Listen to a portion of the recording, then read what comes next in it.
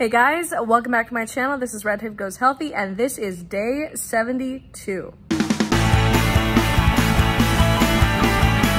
So as I said yesterday, um, I am in the process of packing everything up for my trip to the Midwest. Uh, it's gonna be about a 12 hour drive. So uh, the first leg will be the majority of the driving time, eight hours. You may or may not get a video from me tomorrow. I'm just gonna be honest about that. I, it depends on how I feel. Maybe I'll film something in the car, I'm not sure, but just know that I will still be looking at my quotes on my own. Maybe I'll just upload the quote for you guys, but let's talk about today's quote.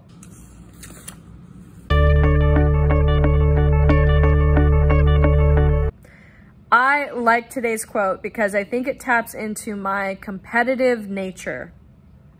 The best competition or the best competitor is yourself.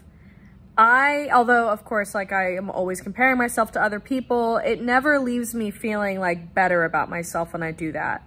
Even if I beat somebody at something, I'm always looking for like the next thing or the next person that I can, you know, compete with and, and win. But when I think about myself and goal setting, I am a person that thrives on reaching particular concrete goals and then doing it again with an even higher or bigger goal. And I think I realized that I, I, actually feel a little depressed when I don't have any goals that I'm striving toward or trying to achieve.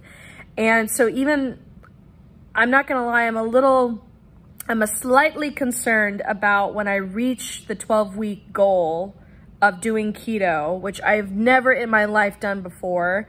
Um, you know, like a straight up diet on keto for 12 weeks. I've never done that before. Once I get to that point, I'm a little worried that I might hit this like wall of depression because I won't know what to do. I won't know like how to, you know, like what's next after that? And so what I think I need to reflect upon, and maybe being in the car for eight hours tomorrow, I can think about this.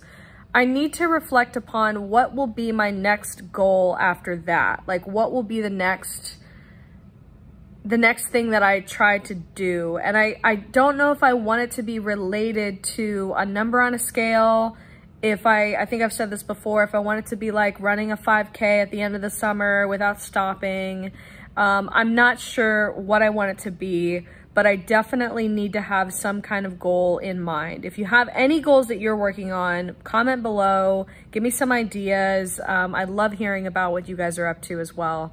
So I may or may not see you tomorrow.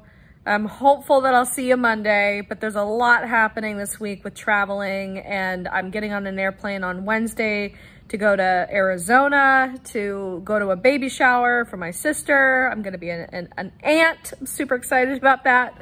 But there's just a lot. There's a lot that's happening the final two weeks and um, know that I'm still staying strong. I just may not have time to edit a video or even like have the space to record anything. So like right now, you're obviously, I'm holding the phone and you're not on a tripod because I packed my tripod. Talk to you guys later and uh, see you when I see you.